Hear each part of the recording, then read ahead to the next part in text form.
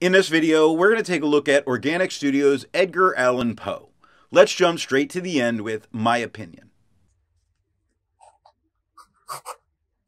This is a bold red with a bit of a lean towards maroon.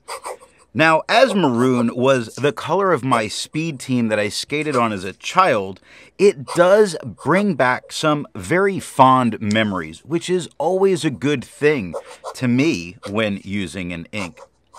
Now, as a red, it is, as I said, bold without screaming or being obnoxious on the page. Generally, I see the same tones regardless of what pen I'm putting it into which is nice to know exactly what you're going to get when you write with an ink, to not have to pick and choose at, but it needs this pen. So this ink has got to step up. It does shade nicely and fairly consistently, rare for red inks. So I like this ink, even though I generally go for non-shading reds. It pulls it off very well and looks like nice the entire time.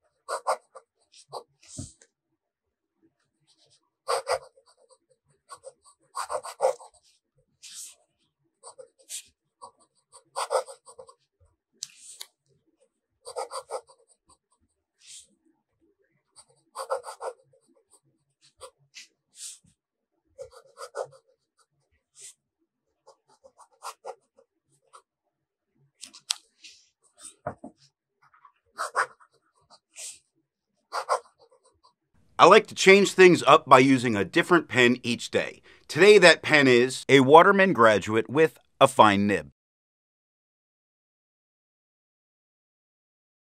It's inked up, used for a day, and used to take the notes for this video. To see how I arrived at that opinion, let's take a look at the first writing sample done on Clairefontaine. Looking at the fine nib, we get a beautiful tone here. We get no feathering, no spreading. We get some shading. This just about shades like it should be a green. I think the ink is confused because it is doing such a beautiful job constantly in and out. I'm surprised. Not very often does a red do this.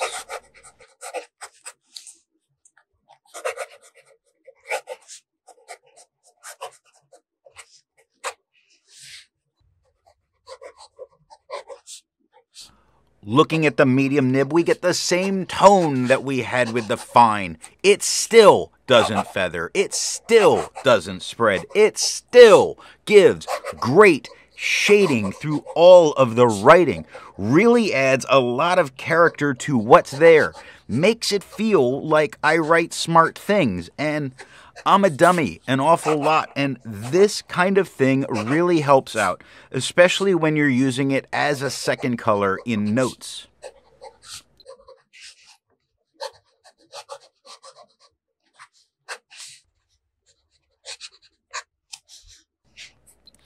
Looking at the double broad, we get really the same tone that we had with the fine and the medium. It does have a slightly different look, but when you really compare in those range of tones, it's just the thicker line that's making it look different. Some different character to it for those lines. No feather, no spread, absolutely shading like a monster the whole way.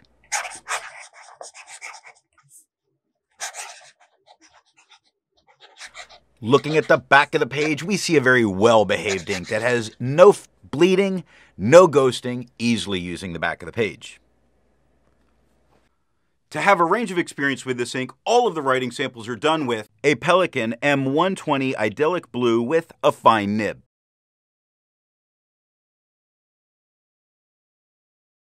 A Pelikan P200 with a medium nib.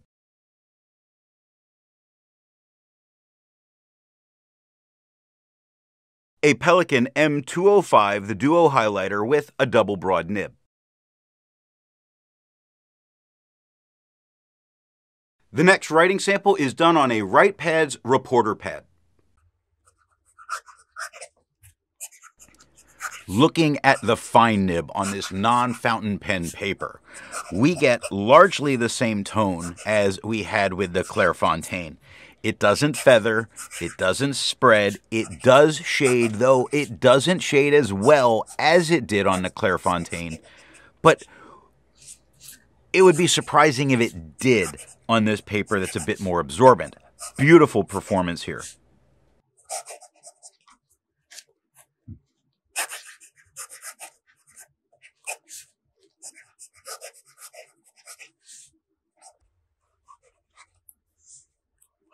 Looking at the medium nib, we get the same tone as the fine.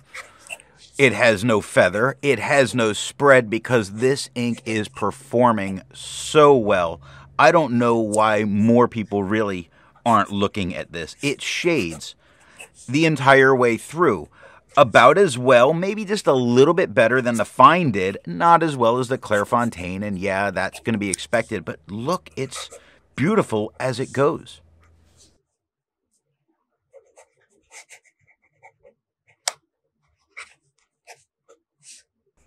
Looking at the double broad nib, this is where I expect to expose some weakness of this ink.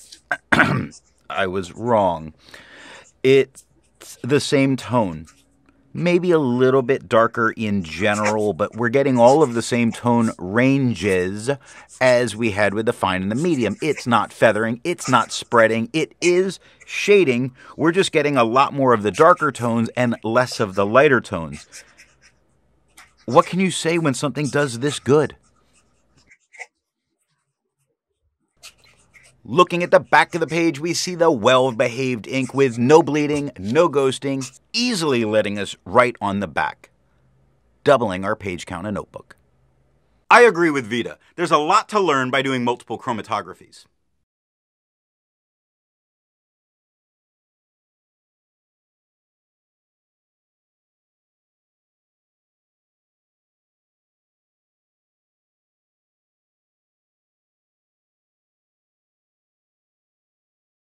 The next writing sample is done in a Field Notes reporter's notebook. Looking at the fine nib, it is just a tad bit lighter than we had with the Clairefontaine. Only a tad. It's not feathering. It's not spreading. It is shading. You can definitely see it going on there. It's not shading as standout as it did on the last paper, that right WritePad, or on the Clairefontaine, but it is still there on non-fountain pen paper.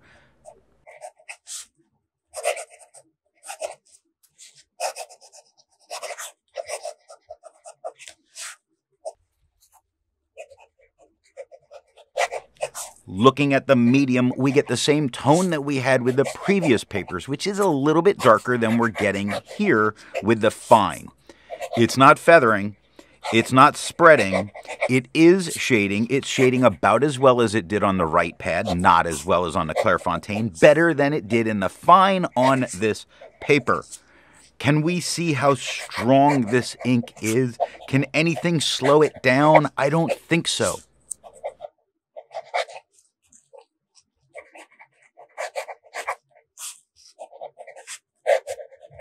Looking at the double broad nib, we get about the same tone that we had on the WritePad. Now, we do get a little bit of feathering. You see it in the L of learn. You see it in the T of two, in the second D of add. You see it a lot in the second line. A lot of tiny feathering going on. This pen is used really to bring out some of those problems. No spread, not really shading much, decent tone, but don't use a double broad in a reporter notebook then. Looking at the back of the page, we're still seeing a very well behaved ink that is not bleeding through, is not ghosting, is easily letting you write on the back of the page. Resistance tests are done to see how this ink can be expected to perform on the page, and more importantly, how hard it may be to clean from your pen. This smear is allowed to dry for three days before testing it. And here we see the results of the resistance test.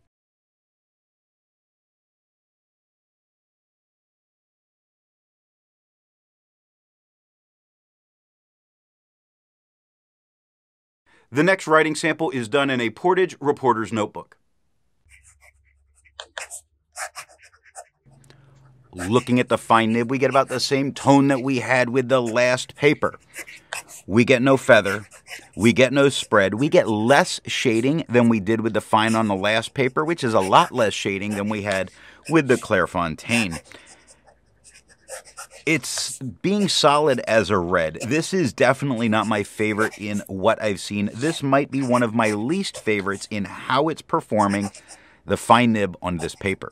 Just the tone.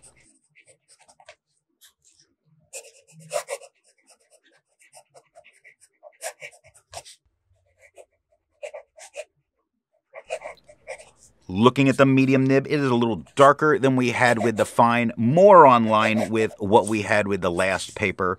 Really back to the tone that we would expect with this ink. So you see it doesn't change very often. Is it feathering? No. Is it spreading? No. Is it shading? Eh, some. some. Not incredible, not as well as even on the WritePad, but it is shading the tiniest bit. So this is not a paper I typically use wanting shading, and there's only a little here. Looking at the double broad nib, we get about the same tone that we've had from the double broad on previous papers, which is a bit darker than we have here on this paper is it feathering a tiny bit in a couple spots, which is strange. This paper doesn't do that very often. But in the F of figures on the second line, you will see it some. And that's largely where I see it. So it is there a tiny bit. It's not spreading, it is shading, and it's shading, I think, better than it did with the other nibs on this paper. Looking at the back of the page, we still have it being very well behaved with no bleeding and almost no ghosting. With over a thousand inks reviewed, let's take a look at some color comparables. Here is Ackerman Dutch Masters number 7. Here is Diamine Peach Haze. Here is Krishna Sindoor.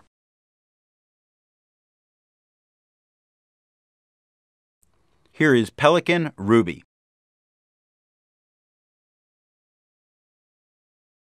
The next writing sample is done in an Office Depot reporter's notebook. Looking at the fine nib, we get a repeat of that tone from the last paper that I didn't care for as much for what this ink can do. Now, as far as its performance, it is feathering a little bit it is spreading a little bit. This paper has always had trouble with fountain pen ink. And again, once this year is over with it, I'm done with this paper. It's not shading, it's not bringing out any of the best qualities. In fact, as a red, it looks a bit faded.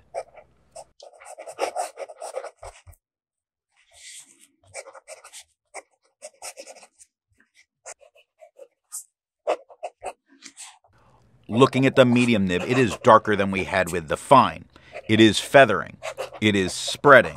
It is giving a couple moments of shading, but just a couple moments, and a warning sign with this paper because of what that tends to mean. While it's darker, I don't feel like this ink is really giving us the same kind of effect as its beauty that we've had on other papers. But this paper does kind of not show well for a lot of inks.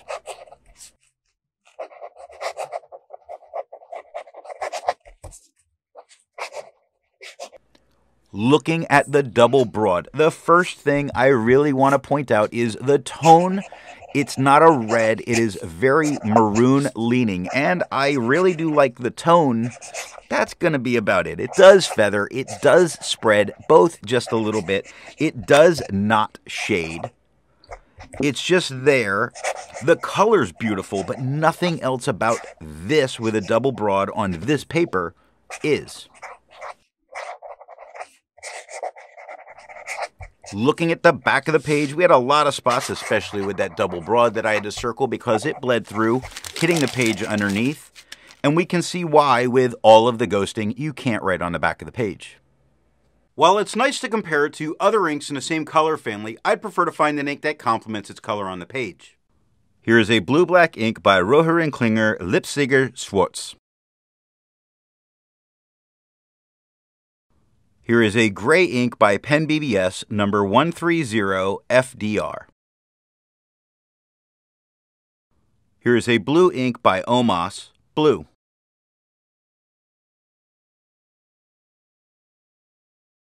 Here is a shimmering black ink by De Atramentis, Velvet Black Gold. The last writing sample is done on 20 pound copy paper. Looking at the fine nib, we're getting a little bit better tone than we had on the paper. We're not on the last paper. We're not getting any kind of a maroon lean. It's definitely looking more of a faded red. Not my favorite tone that I'm seeing with this ink. It is feathering just a little bit. Kind of manageable though. It is spreading very little, totally manageable. If it's not bleeding, this is going to be a great ink for this paper. You're just not getting all that great tone. Is it shading? No, it's not. And not shading on this paper is a good thing. Looking at the medium nib, it is a tiny bit darker than the fine. It is feathering a little and it's manageable. It is spreading a little and it's manageable. It is not shading at all and it's not expected. So yeah, that's what it is.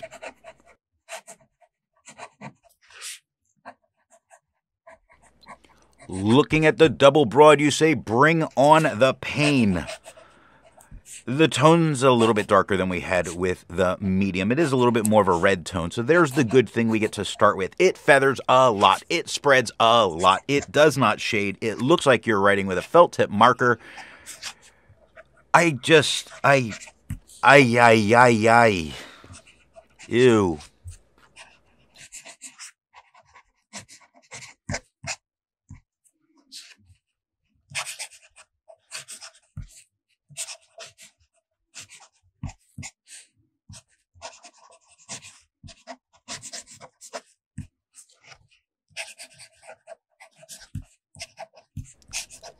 Looking at the page underneath, these dots are only from the double broad. The medium and the fine did not bleed through, although you could not write on the back of the page because of the amount of ghosting. So what nib and pen do I think is going to give the best writing experience with this ink? So looking at how this pen wrote, and I did wind up, you know, getting the ink out of those pens and putting it into a couple of others. And yes, please name it. This always writes good. It is a dealer's choice and a great dealer's choice because you can put it in your favorite pen. And if you like this tone, you're going to be happy with what you see. I love being able to say that about inks when they are so consistent in their performance because then it's not about exactly what pen somebody's using. And that's a great ink like this one is a great ink.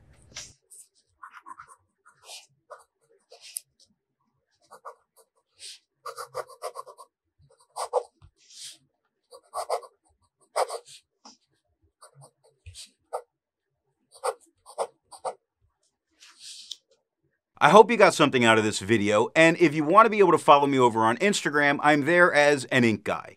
Thanks for watching.